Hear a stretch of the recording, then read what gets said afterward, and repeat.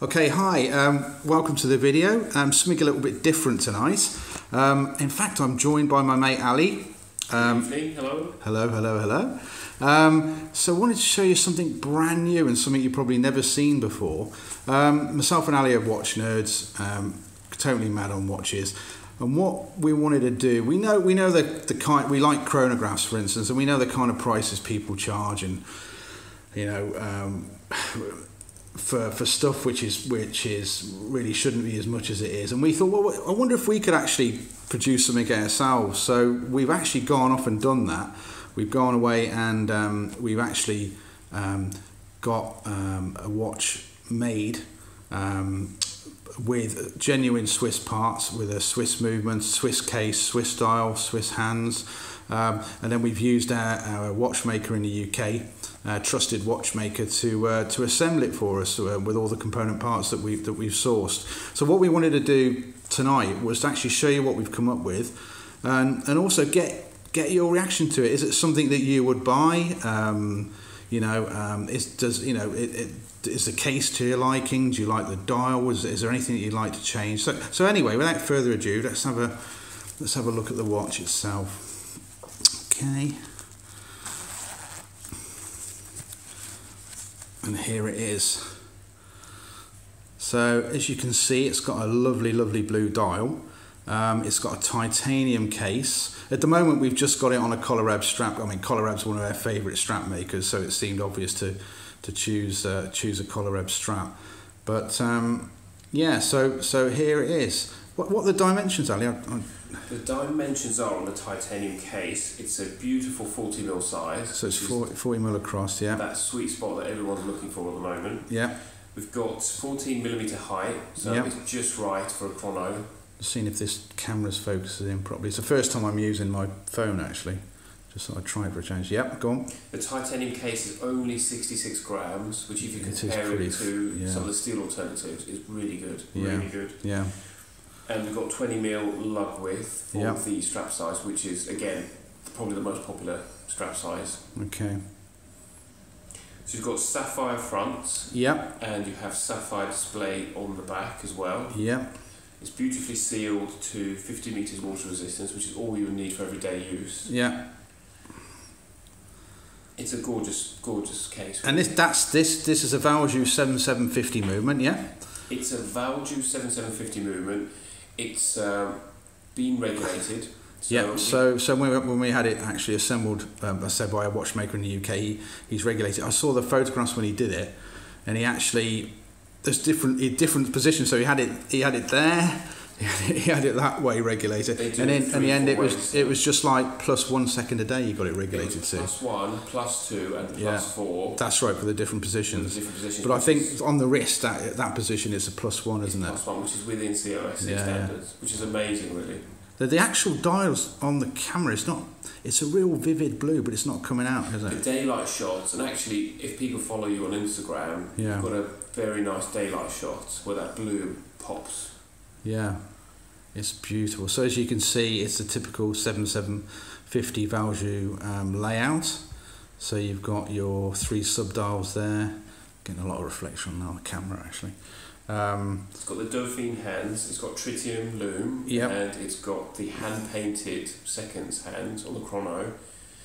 So that's right. We got the watchmaker too. So the actual, we had the the hands. Um, they were all silver, weren't they? And he'd actually just done. He's actually painted the tip. With, in two minds whether to have the whole of the chronograph um, painted uh, that red, which is quite nice actually. Yeah. Sometimes um, the watchmakers have all of the chrono sub dials in yeah. colour, and then the chrono seconds a different colour. Ah, right. Okay. So yeah, I'll just set it off now. So it's got the the day date in the in the three o'clock position. As you can see, it's uh, no logo at the moment. We're umming and our whether whether to have a logo at all. Um, I quite like the uh, the name No Name actually.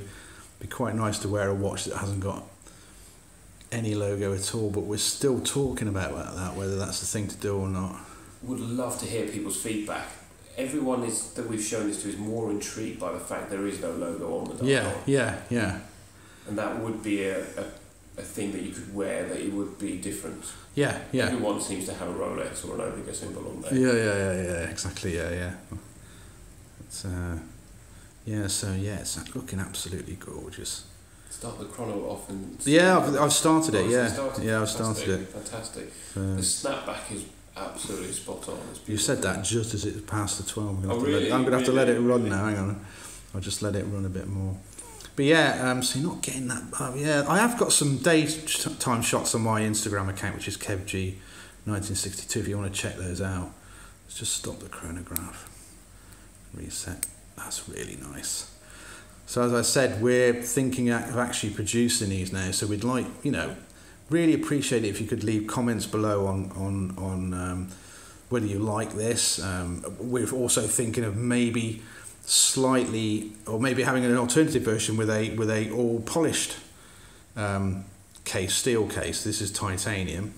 Um, we got some really nice feedback on this, but I think it'd be nice to see it again in a in a chrome, uh, in you know, in a polished steel. The polished 316L steel. Yeah, Yeah. Yeah. Again, that the case, as I said, the case is Swiss made, the dial is Swiss made, the hands are Swiss made. The Um, movement's completely. the movements is is a, is a Val, 7750. Valjoux 7750. Beauty, isn't it? Yeah. So We've got the Italian strap, and actually, Colareb have been, they're very good friends of ours, and we do post a lot of Instagram pictures on Colorado. yeah, yeah, yeah. So we've actually dropped them a note to see if there'd be a, a chance of producing something um, Bespoke. bespoke for this, and uh, and they're Fabio, the owner, is kindly going to yeah, speak he's, to us about that. yeah. He said he was happy to, to chat about that. I'm just trying to get it without it reflecting the camera. Actually, probably at a wrong angle. But yeah, so there you go. We'd love to hear what you think about this. Um, also, what what would you pay for it? That'd be interesting as well. We haven't we haven't actually decided a price yet, have we? We haven't. It seems to be that anything seven seven fifty base Yeah. is well above the thousand pound mark at the moment. So we would want to try and become come below that. under the thousand pound mark. And I think as a watch collector, if you're looking at what's under a thousand pounds, you have a lot of watch manufacturers supplying the Seiko Mecha quartz around that sort of high six, seven, eight hundred pound mark. And considering the Mecha quartz is a sixteen pound movement, it's quite a lot of money. Just trying to find it a bit difficult to focus with this with this phone camera. I thought I'd give this a try tonight. It's okay on the back. It's the front because it's such a, a shiny dial. You need the sunlight really. Yeah, you need. Yeah, yeah, yeah. I We think those Instagram pictures do it just justice. yeah, yeah. It's not too bad. It's not too bad. Okay, but um, anything else you want to add before we finish? No, absolutely. Leave all the comments. Go on Kev's Instagram account. We'd love to hear back from people. We're all part of the same watch community. We all watch the same YouTube videos. Let's let's get your feedback. Yep. Thanks. So thanks for watching, and yeah, all comments below or comments on Instagram that'd be really appreciated. And uh, maybe we'll try and do another one where we can get um, a shot of it in the in the daylight. Daylight, Yeah. perfect. Yeah. Okay, Ali. Thanks very much, and thanks very much for watching.